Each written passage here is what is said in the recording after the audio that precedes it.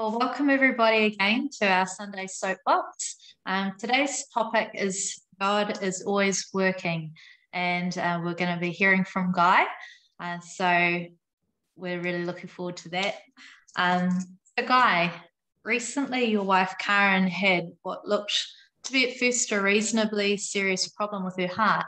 Can you share with us a bit about what happened? Yeah, thank you for that, Lenore. Um, so Karen had been well unwell for about eight weeks at this stage, and she'd been having a at rest heartbeat of around 120 beats per minute. Um, we'd been to the doctors a few times, and we'd also been to the ED once with her, um, and sort of wasn't coming right, and sort of looking to see what was going to happen when quite suddenly on on one day things escalated a bit dramatically and um, her heart rate shot up to 226 beats per minute.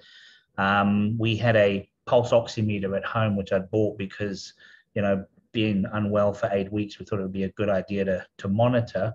Um, she called me told me you know that her heart was at 226 she actually said I don't know if this thing's right because I don't know if it can go this high, but it says 226. And I said, no, it can go up to 250. So um, we better get an ambulance. And uh, we did do. And um, the ambulance came and they, they rushed her off to the emergency department.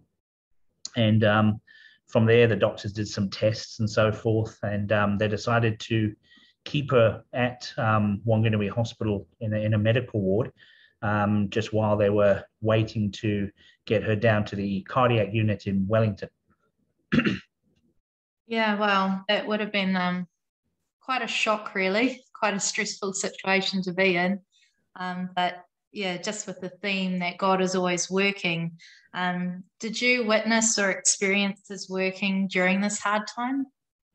Yeah, yeah. Obviously, you know, we can go through difficult things. Um, this being, you know, something that's difficult, I found that um, uh, God um, gave me the strength to deal with what we were facing. Um, I witnessed this strength in my children, you know, um, one being 16, nearly 17, Kelly being 19. It was amazing how they both sort of had this calm, pressured state about them, themselves all the way from the beginning, all the way through. Um, they would have probably been, you know, worried to some degree, but they stepped up, um, they worked, they put their hands to the plow that was before them, so to speak. I also witnessed God showing his love towards us um, through our church. Many of um, our, our, brethren, our brothers and sisters, made contact. They wished us well. I know that they were praying. They let us know that they were praying often for us. Um, some even, you know, when we got back, um, made soup and, and food and, and things like this. And, you know, that's just just an awesome thing to to be able to see, you know. And it sort of you know gives you a bit of a perspective about the body of Christ, which you might not know, you know, before. That you know, you know, the Bible tells us that when one part of the body is hurting, then we all hurt, and you know, you can sort of think, yeah, maybe, you know, but um, it's really nice to to see how how effective the body that is within our church um, reacted to the you know the knowledge that Corin was unwell.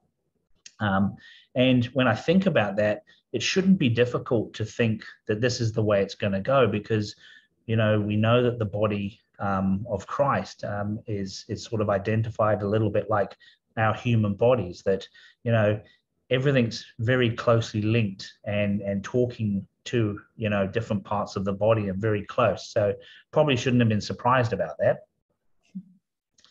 Another way that um, god um, showed love and support and he was working you know in in the situation was that um, you know like most christians i've got different apps on my phone and and things like that. And all of a sudden the messages that were coming um, through those various apps and stuff were ones that we needed to hear in this situation. Um, so we were hearing scriptures like um, all things work for good. Um, i will never leave you nor forsake you. Um, God is never very far from those who love Him, and and a few more that I that I can't remember right now. God also helped me with um, the presence of mind to be thinking about what needs to be done and to to avoid errors. Um, he helped me bring to remembrance the things that doctors needed to know because it's it's rather amazing how no one reads notes. um, and you'd have to go over, you know, what's been done and said so far, and just sort of challenging them in their thinking, um, so that, you know, they they don't make mistakes as well. I, I remember um, recently one doctor wanted to put Karen on some steroids, and I said to her, "So does steroids not act a little bit like adrenaline?" Yeah, yeah, that's that's how they act. I said, "And adrenaline, you know, gets the heart moving faster. Should we maybe not be avoiding steroids?" And uh, yeah, she wasn't able to sort of reply to that one very well because she clearly got that wrong. Um, and you know, God is amazing. You know, He He also helped me have the courage to talk to Karen in relation to what she was going through and gave me the right words to say at the right time. Um, he he allowed me to say to Karen um, that it doesn't matter what the body is going through. You know, it's it's Father God that controls the breath of life. It's His breath of life. It's with us until He decides that it's no longer going to be with us. And um, for this reason, it doesn't matter what you know the heart was doing. Karen was going to survive unless he decided that he was going to take back his his breath of life. Um, we also chatted in relation to um, where she is as as far as um, you know being in Christ, and I, have I'm I'm very sure that Karen is saved, and you know um, I didn't think that there'd be a problem there, but it's always good to just make sure, and you know. Um, we didn't know at one stage how things were going to turn out. And I, I remember saying to Karen, you know, if there's anything or even things that you are not aware of, you know, it could be a good thing, you know, now just to say, hey, Lord, if it's if it's that time, um, please do forgive me for all the things that I don't know about, and um, you know, therefore, you know, sort it out with God. Mm. Yeah, it's interesting, Guy. I'm just listening to what you're sharing there. Um, there seemed to be like a, a continual theme of God working in the form of communication like with everything that you were sharing from um, you felt that communication coming from God, from the mm. word that you kept hearing, and then you know you you had that supportive communication and an act, but like mostly because we went together. You know, it was it was communication through text or I guess um, talking to people and just feeling the body showing that form of love. Well, that's God working through the through the body, isn't it? Amen. Support, yeah, definitely. Support the members of the body. Yeah, and yeah. Then, you know, you being able to communicate, God quickening those things to you with the doctors, and then also um, with Karen, you know, and just like, yeah, my heart goes out to you because to even have that conversation with your wife, you know, the one that you love so much, it like that alone is a big enough challenge. So yeah, thank you for sharing with us how God worked with Karen and you and your family during what was obviously a hard and, and quite a, a fairly private situation. So, um, Guy, was there anything else that God you felt was doing at that time? Yeah, so um, we we're sort of finished now with the emergency department, and as I sort of mentioned, um, Karen ended up in a, a medical ward. Um, she was placed on um, an ECG sort of permanently because they didn't have a lot to go on and they were trying to capture you know information that they could send down with Karen to the cardiac unit whenever she was going to end up down there. And um, so Karen's now in a, a four bedroom ward and she's the only lady in there. There's three other sort of older men in there, um, which was interesting because it's not the norm. Um, but, you know, clearly beds were a bit short on, on this particular day. And um, this was how things were going to play out. And we'd been visiting Corin and um, we'd, you know, gone home and it was sort of getting closer to sort of going asleep time. And I got a text from Corin and she said, I've just heard the old man next to me praying aloud to God. And, um, you know, this, this intrigued me and obviously gave Corin a lot of, um, you know, uh, courage and support and and just you know was showing her that that God is close you know? And um, as I mentioned it triggered in me to be thinking about you know there's there's a child of God right next door to Corin we didn't even know you know? And um, yeah so so that was interesting. And and I thought to myself well I'm going to chat to this gentleman tomorrow. I'm going to take the opportunity just to speak to him and and and see you know, where he's at and, and find out how he's doing and so forth.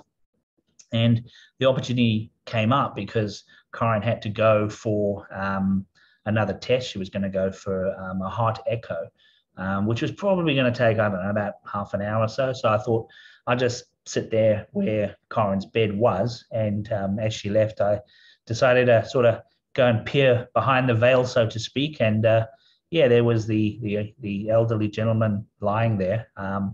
He, he looked quite frail to me, quite old. And um, so I sort of motioned a bit closer because I thought he might be a, um, a little bit hard of hearing. And um, he was. And this is probably why he spoke aloud, you know, um, because, you know, it's sort of commonly known as, as people lose their hearing that they talk louder um, and they sometimes forget that they're speaking aloud um, instead of speaking within their own minds. But God used this to um, to bless my wife and to bring about, you know, an opportunity. So I just motioned closer and I spoke quite loud and I said to him, So you're a Christian?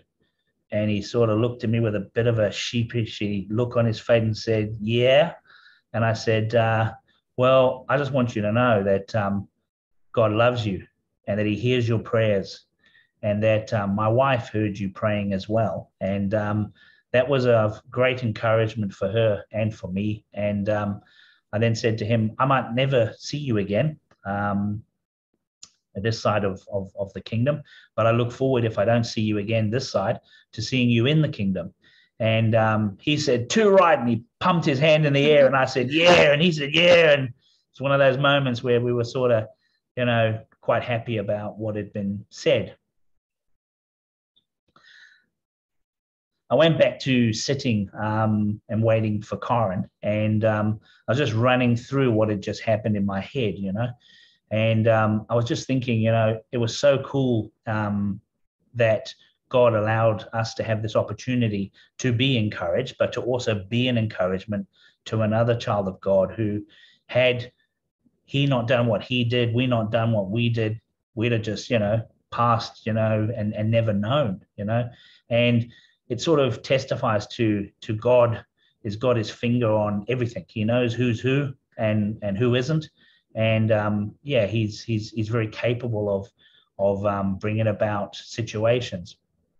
So thinking a little bit further into this, I thought, well, here we are in the middle of um, you know a, a, sort of a bad situation with Karen's heart and so forth, and um, God had provided an opportunity for a little bit of work and for things to be shown, you know, that things are working for good for those who love the Lord, you know.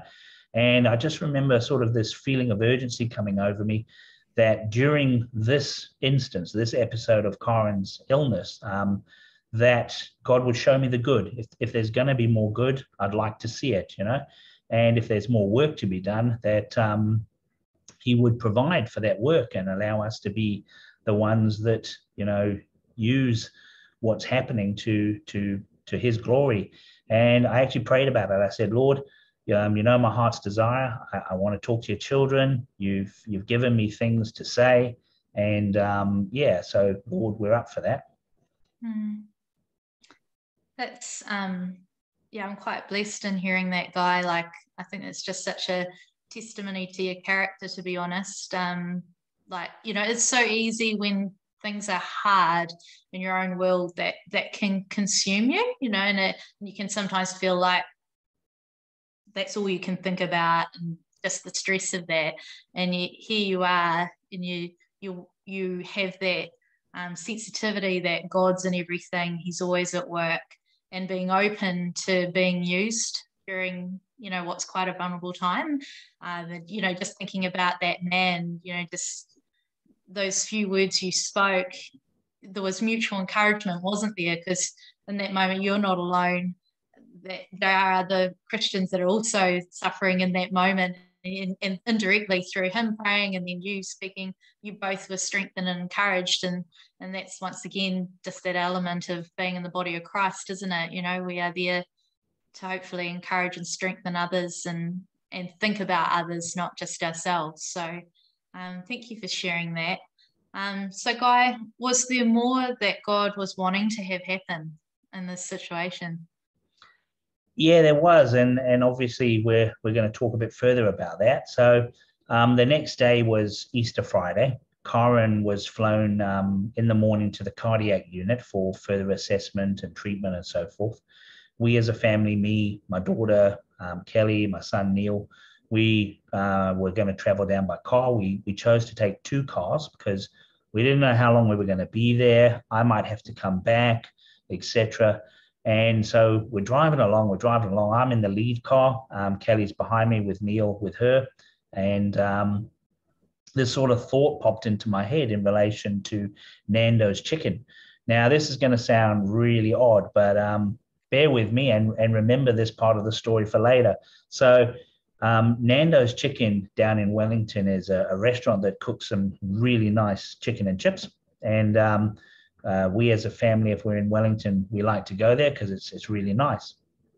And uh, this thought popped into my head: we're going to Wellington. We're going to get to have Nando's again. And I didn't sort of recognize it at the time for what it was, but it was a, a prompting of God. And um, not just a, you know, a thought of, oh, we're going to Wellington, we're going to have some chicken, it's going to be great. Um, so I text my son um, just to say, Nando's chicken. And um, I'd hardly push go. And then the phone rang, and Neil's on the phone, you know, on speakerphone with Kelly. And he says, Dad, you won't believe we were just talking that Nando's Chicken's in Wellington, and we hope you know that Dad takes us for Nando's Chicken at some point while we're down here. So this this this was all cool, and we decided, you know, that night after we'd seen Mum that we we would go and to to to go there to have um, Nando's Chicken. Um, so got down to Wellington, saw Mum. She was, you know, in her own sort of room at that stage um, she had her own bed, she had a beautiful view, etc. So she was quite um, happy and content at that stage. So she was happy for us not to spend a lot of time with her, and um, we had Nando's chicken to go and get as well. So it was, um, you know, one thing that was going to happen. So we left and off we went to Nando's chicken. So when we got to Nando's chicken, um, we we came across a, a, a bit of a catastrophe. Um, we were talking to the manager, and he said to us that we can't have any chips. And you know, Nando's chicken and chips isn't quite Nando's chicken and chips if you're not having chips. But he said um, the fryer is broken, so no chips tonight. Uh, we had a we chat amongst ourselves, and we said, well, chicken on its own at Nando's is pretty good anyway. So that's what we got. So that's as much as I'm going to say about Nando's chicken at this stage, and uh, um, they will sort of come into the story again a little bit later. The next day, Corin got moved um, from her own private hospital room into one that um, was shared with another lady. And this lady happened to also come from um, our hometown, Wanganui. Um, Corin and her um, obviously greeted each other and started some conversations, etc. And um, over time, you know, Corin mentioned, you know, a little bit about God because she's, you know, that type of person. She's very quick to speak of of God and positive things, you know, even when times are hard. And um, Corin said to me later um, that as they were about to turn in to go to sleep, the lady said to her, um, I think there's a reason why you've been put in the room with me. Um, so this was interesting for Corin. She let me know, and um, I I sort of was thinking that maybe there could be a bit more to be you know expressed here, you know, to be spoken about as far as God and Christianity. And um, in the the days that came, um, those opportunities did come. And the lady had lots and lots of questions about God, Christianity, church. Um, and I was really blessed because you know, while we have a lot of knowledge, because, you know, in our church, we're, we're taught a lot about the Bible and so forth, to be able to express this in the correct way to a person who has specific answers that they need can sometimes not come across well. But um, God was obviously involved. You know, if you think about her being put in the room next to Corin, um, Corin and her talking, and then me coming along, um, God speaking through me to to give her the answers that she she needed on Easter Sunday, I had arranged to come into the hospital and to set up my laptop so we, as a family, me, Karen, and my children, could attend um, our church service because our church does put our services online. And um, we did this in the whānau room, which you know is the family room. And um, basically, it was just us in there, and some other people popped in every now and then. They got to hear some stuff as well, which hopefully that um, may have you know impacted upon them. But we were away from Corin's hospital room for probably about an hour and a half, and um, the hospital has this policy that only one person um, can visit a particular patient at any one time. So when this was finished, Corin was feeling a little bit tired and um, she decided she wanted to go back to a hospital room. So I walked back, and as we sort of came back into a hospital room, you you hear the voice from the other lady from behind a curtain saying, "And where have you been? Were you out to lunch?" And um, I said to her, "No, no. Um, actually, we we were at church." And you know, she was inquisitive to how we would go to church when we we're in hospital. And I said, "Well, I brought my laptop in, and we do online services, etc." I had been thinking about um, our soapbox um, church that we do online later that day, and I was thinking, God, is there a way that you could, you know, bring about that she would watch that, you know, that you know we can do this for her, and here it was, you know, the lady had said, "Have you guys been away for for lunch?" And then we get talking about online, and I tell her about the soapbox and that I could bring the laptop in later that day for her and Karen to watch and um, she said yes, she would. And uh, interesting that it was um, Easter weekend, and um, as you would probably know, John had um, prepared a, a, questions and answer situation in and around, you know, Easter, what his true meaning is, um, Jesus, his death, his resurrection, um, about the Jewish people, how important the Jews are, and so forth. And um, this really impacted on her. When when we were finished she said i i had no idea. I, you know she said the things that i heard today i've never heard before. And she was she was quite surprised and amazed. This led to more conversation and her opening up and she shared with me that about three years prior to this um, a doctor a specialist of some sort had said to her that she only has three months to live um, and this is probably quite some hard news to get, but she she remembered that thinking at the time, well, if I've only got three months to live, I better get baptized. And um, she sort of explained that she'd started to get this organized. And um, then the thought came to her that she's a hypocrite. She's only getting baptized because she's about to die. And, um, you know, she felt probably quite guilty about that and decided to put it off. But our Father God knew that she had um, sort of made that decision. And, you know, um, here we are a number of years later, and, you know, clearly she's still alive. Um, and she hadn't got baptized at that stage when she first um, thought about doing it. And as I mentioned earlier, like obviously I can't speak on the behalf of God, but here she is still alive. And, you know, God who controls the, the breath of life you know, hasn't taken that away from her yet. And um, yeah, it's just an awesome thing to to be a part of, you know. Um, she did tell us that um, at, in April of this year, the beginning of April, that she did get baptized. Um, and that was nice to hear. Um, I, obviously, at that stage, I was thinking, well, I wonder if her baptism was done correctly, because that's one of the things that we like to sort of try and make sure of is that um, baptism is done as biblically correct as, as possible. Um, but I didn't feel the urgency at this stage to sort of badger her about that. Um, and so I, I, didn't. I thought maybe it would come up later. Um, however, God uh, had other plans. And only a few hours later, um, she had a new nurse for that night who was going to take care of her. And it turned out that um, this nurse was from Ethiopia. Um, so obviously, I could clearly see that she wasn't from New Zealand. And I asked her. she told me she was from Ethiopia.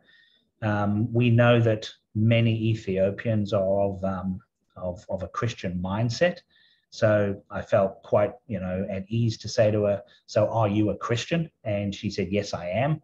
And um, this led to me ch- chatting to her about where in the Bible, you know, people from Ethiopia are spoken of um, in the Word of God. And she found this interesting.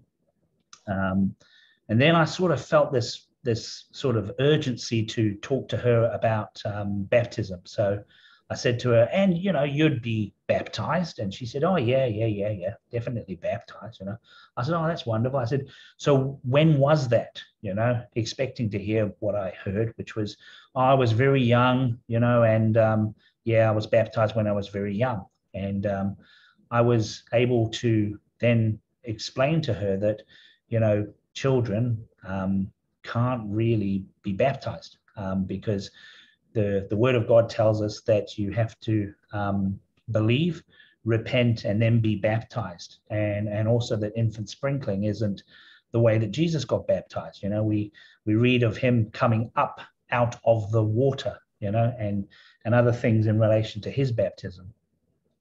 She saw this, and um, uh, we later found out that uh, um, she was working that night and we were never going to see her again um, as far as we know, because we um, Corin was going to get discharged the next day, and I just yeah, just the whole thing was just so well organized by God. You know, we've got the lady who's just been recently baptized that I um, hadn't you know taken the opportunity to ask her about her baptism.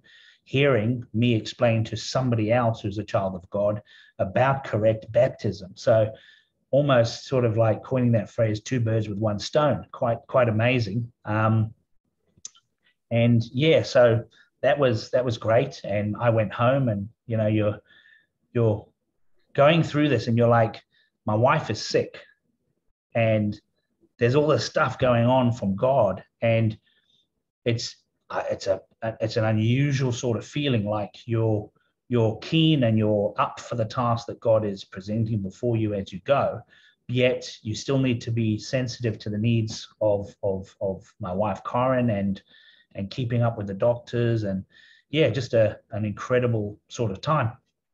So the next day comes along and um, we're sort of getting ready to be kicked out of the hospital, um, get discharged, and we're still having some conversations um, with the, the lady that was in the room with Corin. And um, she pipes up and she says, Oh, I, I heard you talking about baptism to my nurse last night, and I, I just want you to know that I was fully immersed, baptized, and that it was done correctly because of what you said. Mine was done exactly the same. And I thought that was just so really cool that she wanted us to know, you know, um, and obviously God had been in that whole thing and, and he'd known what her response was going to be. And um, just amazing sort of um, testimony and, you know, glory to God that he's just, he just knows everything and he's just got everything under his control and, and he's working, you know? So, um, yeah, um, basically we're, we're sort of getting ready to leave and it's getting closer and closer to the time of us to do that. Um, and we said our goodbyes to the lady. Um, we made a, a commitment to, you know, meet up again and have some more chats and so forth. Um, that has happened, and um, we're hoping that, you know, what she said, which was she'd like to come to our church and and maybe attend a few meetings and and see how things go. That um, this would that this would happen. Over to you, Lenore. Sky. Um, yeah, just thinking about everything you, you're sharing, you know, like one hospital venture, two rooms, and already three people, you know, God has has reached out to um, through your experience. And yeah, just amazing the way the Lord works. And um, if you yeah have an open open heart how he will open those doors and you're still able to share what you wanted to say but by waiting on the lord you know he opened those doors you didn't have to force it upon them so it's just fascinating um, and praise god for the work that he can do through us um, So it sounds like a lot was done in the hospital, Guy. Um, with Karen being discharged, I guess the work maybe you felt was was all over and you could just come home. Yeah, unfortunately, um, Karen was discharged quite late in the day. Um, you know, you're waiting for the cardiologist and, and, people to sign bits of forms and so forth. So we were going to stay um, in Wellington that night um, because we just thought it was better. Um, there was also that feeling of, um, well, what if they've got it wrong? We'd rather be really close to the cardiac unit um, than, you know, halfway home. so we were going to stay the night. Um, um, when Karen was about to be um, properly discharged, I, I remember going through the doors out into reception and um, I saw um, probably a family, you know, it was a couple of ladies and a couple of guys, and they were very, very well dressed. And um, I sort of motioned over to them and I said, Oh, you guys got some really nice clothes on today. It looks like you're out in your Sunday best. And um, they sort of looked at me like I was a madman. And uh, um, one of the ladies sort of, you see this bit of courage come across her face, and she sort of pulls her shoulders back and she says, Well, we were at church today worshiping our Father, you know? And um, she, she, she wanted to sort of tell me this, and I guess in case I was um, maybe not a Christian. Um, and I responded to her and, and, the, and those that were sitting there, and I said, um, So I guess today you were in the house of the Lord celebrating the fact that Jesus has risen, you know. And um, at this, they all smiled and they were a lot more happier and um, sort of, yeah, our Lord is a risen Lord, you know. And I don't know what was going on before. It's not my place to to guess, but they're sitting outside um, the cardiac unit at Wellington Hospital, and they can only let one person in at a time to see a patient. So I'm guessing they're going in one at a time to see somebody that they care about. And before this, they weren't talking, their heads were hung over. Um, I didn't see any smiles, but um, once we'd had our little conversation, you know, hopefully they were uplifted and, and feeling a lot better about that. So at this stage, Corin does get um, discharged and uh, we're walking out of the hospital and so forth. And um, the kids are telling Corin, you know, what we've been doing for the three or four days. And um, Nando's chicken got brought up again. And uh, so Corin says, Oh, you guys had Nando's chicken without me. And we said, Yes, you know. Oh, okay, well, I guess we're going to have to have Nando's chicken again tonight because I feel like Nando's chicken tonight. And, you know, I was sort of like, Yeah, Nando's is good, but they haven't got any chips. And I said to them, Guys, they don't have any chips. You know, Nando's chicken and chips, no chips. But we decided to hatch the plan that we'll get Nando's chicken and then we'll go somewhere else for chips. And then maybe we'll go down to the beach where we can um, eat the Nando's chicken and chips. So this is where I said to use remember the Nando's chicken and chips story because it's not over. So we get there and um, we get met by somebody who says, you know, take a seat, go up and order your food. So the family said, I knew what we wanted. So I went up to the counter and I met this guy at the counter who was going to take my order. He's a blonde headed, youngish sort of chap. Um, I later found out that his name's Ryan. And um, so I'm about to place my order, and I say to him, Is there any chance you guys have got the fryer fixed? And um, he said, Yeah, no, we got it fixed today. And I don't believe I was in control at this point. It was it was the sort of thing that you just don't do happened and I stuck up my right hand into the air, pointing towards heaven, and I said, Yahweh fixed your fryer. And if you think about it, you know, there's not a lot of Christians that know that God has a name and his name is Yahweh, let alone, you know, possibly people of the world. But as I said this, Yahweh fixed your fryer, this this sort of funny look on his face, a bit of like like conviction came over his face as I did this. And this triggered in me to ask the question, you know, how do you know that? And then he finished my sentence, the name of God is Yahweh. And this was this was a bit crazy, you know. Um, so I'd seen this in his face, and I and I just followed on, and I said, um, "Are you a Christian?"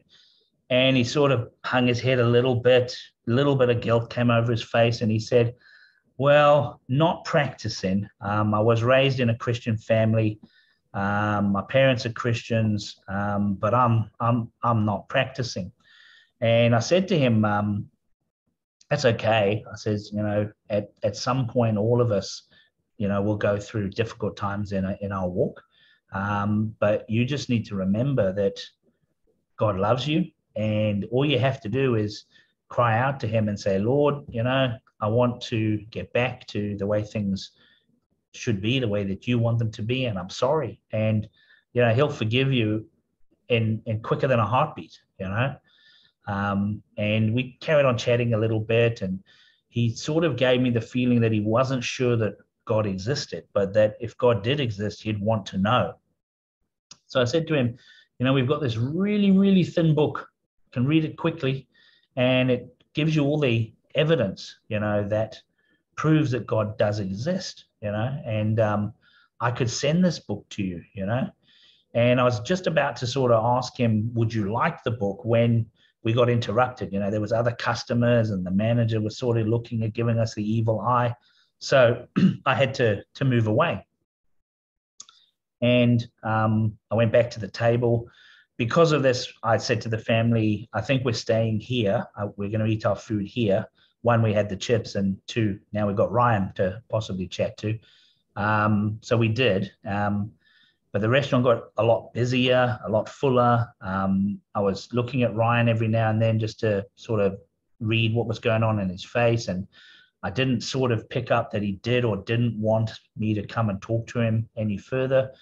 Um, and I'm sitting there weighing this through my head and and a couple of times I sort of thought to myself, well, do I go and carry on the conversation? And I, I said to myself, no. Um, it's it's maybe for Ryan to come to you now and and and make the, the choice, you know. Um, we got to the end of the food. Um, the, the question went through my head again. I said no.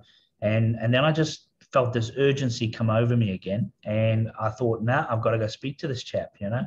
So I got up out of my chair and I just walked straight up to him. Um, I don't know if anybody else was waiting to speak to him or not. And I just said, Ryan, do you want that book? And um, the relief that came across on his face was was the first thing that I noticed. And then he said, Yes, I, I want that book. And you know, in my head, the job's kind of done at this stage. I'm turning around to go. And, and he says to me, But where are you going to send it? And I just turned around and I said to him, Ryan, I know where you are. You're at Nando's Chicken in Wellington. I'm just going to send the book here. Oh, okay, that's good. I'll put your name on it. We'll get the book to you. And, you know, job's done. Praise the Lord. that's awesome. Um, so, Guy, you know, you've shared and we've heard of some examples of God using Karen's illness to work in and through you both. Um, when you say God is always at work, is it only in these miraculous occurrences?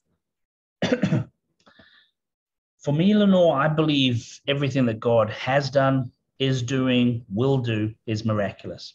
Uh, we need to remember that before creation, there was nothing. God performed a miracle, which led to us seeing everything that is around us today, as well as all the things that has happened in the past and all the things that are going to happen in the future. And it's because of who is doing the working, not through whom or in whom. Whatever he puts his mighty hand to, whether small or large in our eyes, I see and I believe is miraculous. While these examples um, that we've been speaking about today did happen, and you know they're sort of outside of the norm they could be attributed to minor miracles i believe this to be a limited view of god's working and performing miracles all day long i believe looking and seeking his miraculous hand and what he is busy doing around us for us for our church in our families etc is of great benefit to us and pleases him to no end after all we are told in john 17 verse 3 and this is eternal life, that they may know you, the one true God, and Jesus Christ, whom you have sent. We also read at Psalm 34, verse 8 Taste and see that the Lord is good. Blessed is the one who takes refuge in him. Looking for the working of God is one of the ways that we can taste and see God.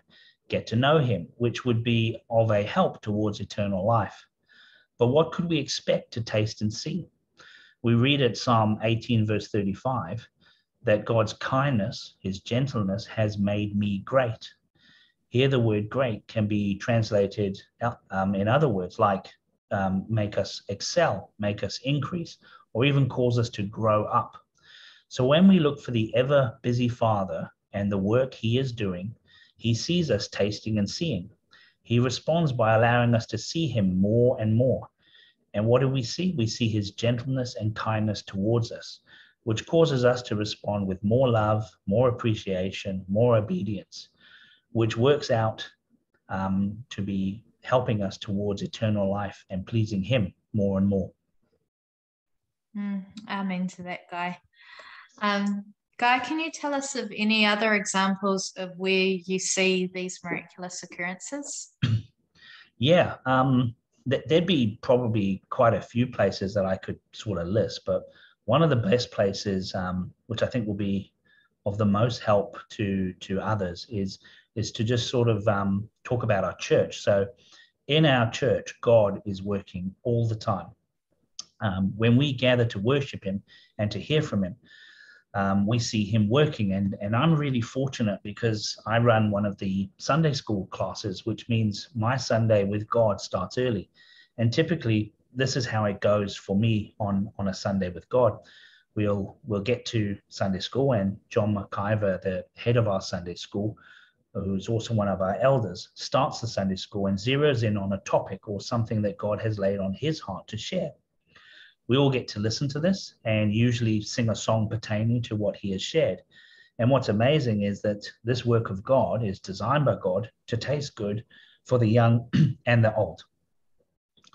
What he has shared will either lead into what I'm going to be speaking about in my class that I run or trigger a prompting from God to do something completely different than what I had planned to do, but God will still lead into that class after Sunday school, we have our main church meeting, which um, starts off usually with the, the person who's leading delivering a small message or a prayer that you know is on his heart that's been put there by God.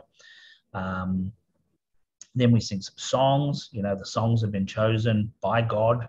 You know, maybe penned by you know who the leader is that day, but God has chosen those songs, um, and they'll have the the same message.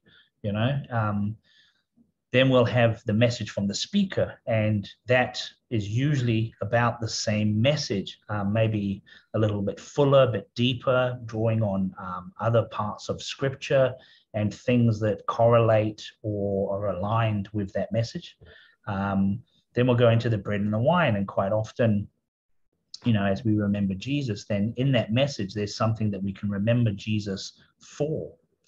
Um, we'll um, sing some more songs. Once again, those songs, you know, by the providence of God, are, are able to minister us along the same subject.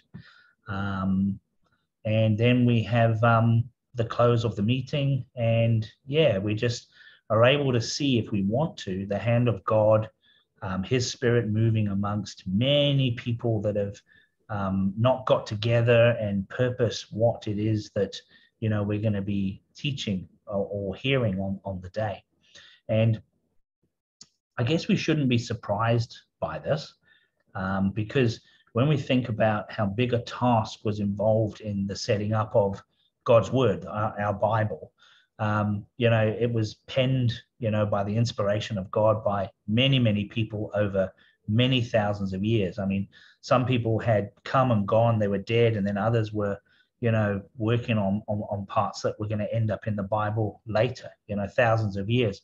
So, you know, for God to just work within our church, um, it's it's certainly not a hard thing for him. No, and you know, just thinking about what shared there, guy. You know, we often talk about like how God layers that layering of a message. Mm. Um, affirming that it is from the Lord and and the truth that is within that.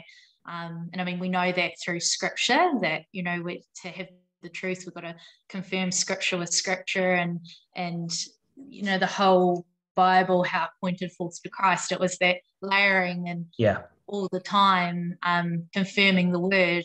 And yeah, I totally agree with you, Guy. You know, I think the thought that comes to mind for me is that we've just got to be open to receive it. You know, God can't speak to us unless we're open and, and looking, and He mm. will certainly reward us for that, you know. But, um, you know, simple things like, you know, I have like a little word for the day that pops up on my phone. Well, if I didn't install the app, I wouldn't get that message. But often that message might have connected to the readings that I did the day before. But if I didn't read, I wouldn't get that connection. And that's, you know, I guess the encouraging factor about even us going to church, you know, like by participating, being part of the body, we can experience that miracle of God working through our lives individually and as a body, and just that continual layering and affirmation of God's word in our lives. Um, yeah, it's a real blessing when you can experience that. And and I think it's in those moments that you really have that confirmation that that God is working in your life. Um, I was there a time when you didn't see these miracles for what they are, and if so, how did you start to? Yeah, it's a good question, Lenore. Um, so, in the very early stages of joining our church, um, when I was sort of in my mid 30s, um, I I could be what you would call um, a babe in Christ, a newbie, um, and and to be honest, pretty dumb. So, in those very early stages, you know, I had no idea, you know, um, and you don't know what you don't know. so yeah, didn't didn't see those sort of things happening. But God knows us, and He knows what we need, and over time, um, He's going to deliver that. Um, um, he educated me about Himself, um, showed Himself to me, and um, this should cause in us to to want to know Him more, to to go seeking for Him, um, wanting to taste of His goodness, and and to to serve Him even more. And and then to you know find the talents that he's put inside you um, that are there for his glory and want to use those to to bring more glory and I, and I say that phrase because we can't actually bring more glory but there is glory that's available to god that he's put in place that you know he wants people to participate in so that you know um, he gets more glory and to also be edifying to um, the brethren and the children that that um, are his. You know, when I look back on it now, it, it seems quite simple and logical, but in those days, because you don't know, you you just don't know, and and you you have to be taught. But it can take quite a while to learn this. Um, now I'm at a stage where um, before the meetings I will pray regularly, and because um, I know that God is going to be there um, and that there's things that need um, to come out, I will I will say to Father God, I'll say, Lord, I want to see you. Um, I'm not being demanding or and having a bad attitude. I'm just saying, Lord, I want to see you. I want to see you working. You know, I seek the giver, not the gift. You know, um, and Lord, if it's you know that you want something to be said or prayed about in the meeting, um, you know, just put it upon my heart. Tell me, you know, what it is that you want to say, and um, the the reason why we we should want to you know participate in these meetings is to edify. And it's amazing how edifying it is when when people are being used by God, um, and and you are of the of the mindset to be looking for God, and then you see God working through somebody, and it edifies. And it's like this, you know, we talk of a downward spiral, but it's like this is an upward spiral. You know, it's just positivity and edifying and glory for God, just all building, you know, towards towards our our Father in heaven. Mm.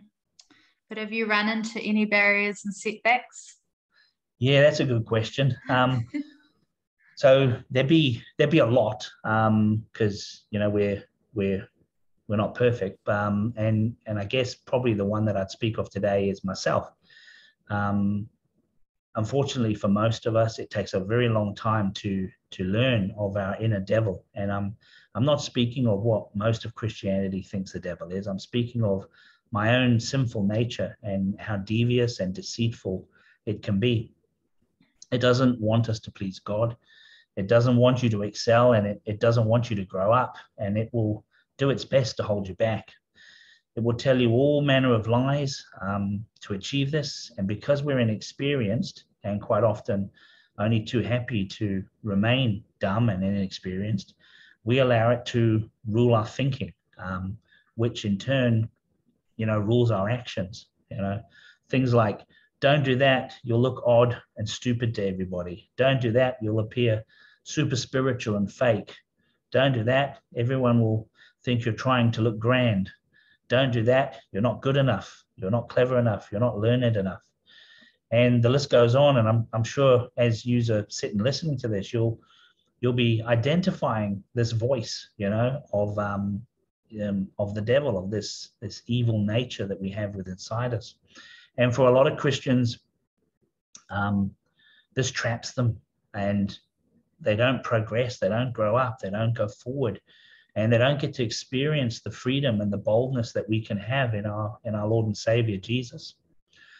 But when you realize you're never going to be good this side of the kingdom, and it's all about God and not you, and not what others think about you or what you've done, um, things that you've actually been forgiven of, things start to change. You become more confident, bolder, you step out in faith more often.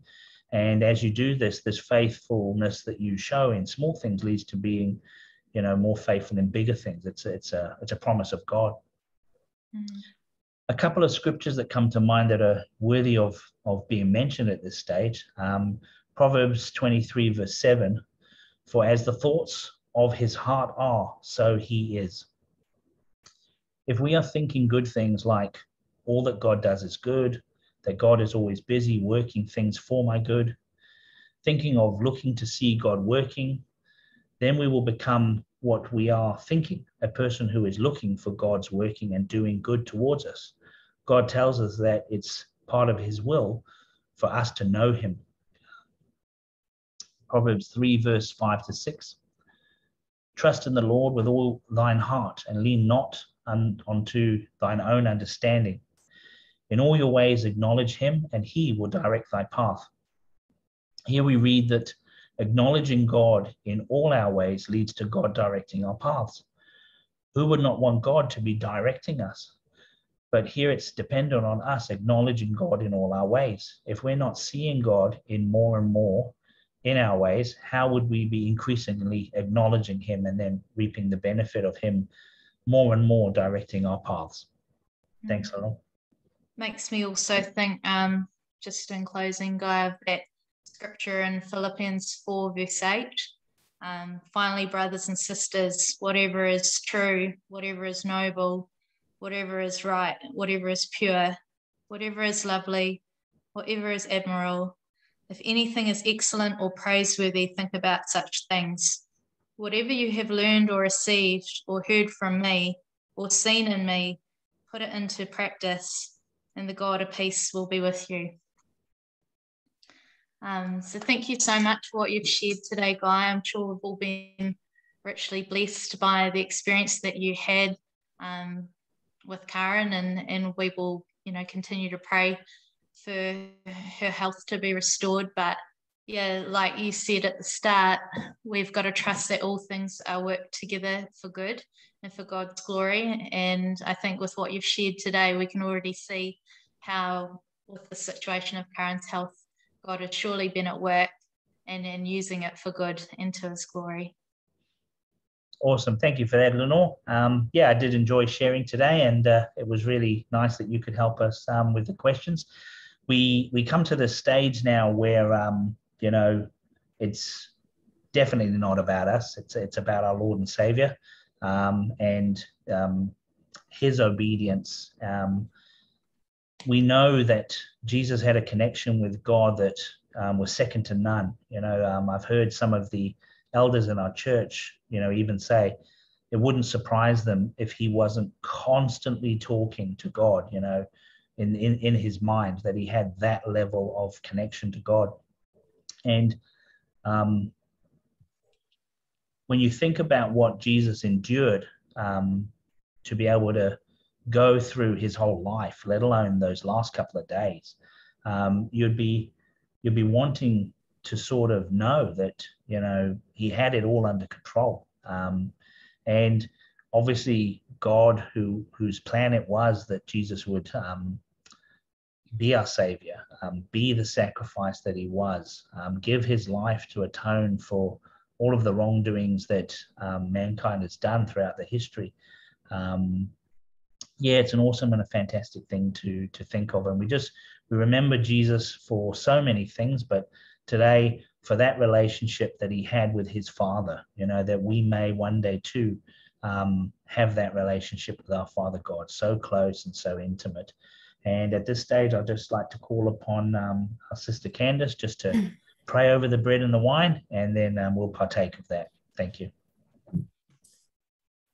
Dear God, today, today, today, sorry, today we gather together as brothers and sisters in Christ to remember the extraordinary sacrifice you made in sending Jesus. You feed our souls, you nourish our hearts, and give us the sustenance to run the race before us. No matter what we may have to endure, you always show us your way and your plan for us, Lord God. As we take this bread, remember that you are the bread of life. And as we drink this wine, which represents the blood poured out for, for us,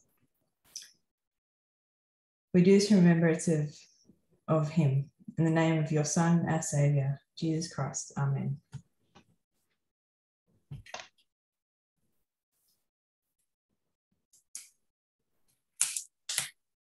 Thanks, Candace.